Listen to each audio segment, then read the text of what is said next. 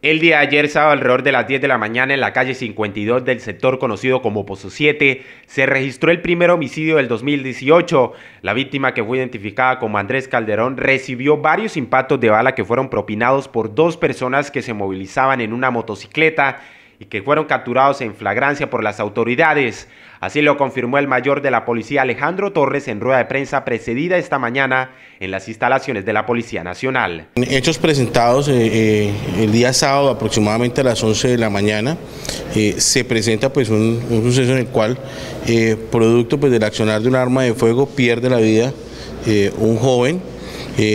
debido a esta situación se activan unos mecanismos de contingencia por parte de todas las autoridades de la Policía Nacional, de la Fiscalía General de la Nación, del CTI, del Ejército Nacional,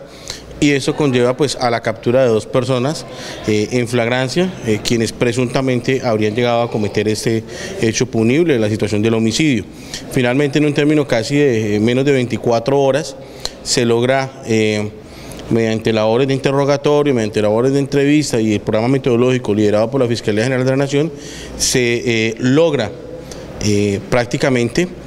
que en esa articulación en menos de 24 horas esclarecer el, esclarecer el homicidio y las causas por las cuales se presentaron. El mayor Alejandro Torres además dio a conocer detalles del por qué se habría presentado este homicidio y las causas que habrían tenido los autores del delito. Eh, llegan a este lugar eh, y sin mediar palabra ya tenían con antelación un estudio previo a su víctima, quien tenía, pues, eh, había recientemente había salido pues, de purgar una condena y eh, lo esperan. Parece que esto es en una retaliación a hechos que se habían presentado en el pasado y de esto pues todo el acervo probatorio ya lo tiene la Fiscalía General de la Nación, teniendo en cuenta pues, los buenos oficios que se actuaron Este homicidio se convierte en el primero del 2018. Las dos personas capturadas fueron dejadas a disposición de las autoridades competentes, quienes definirán su situación judicial.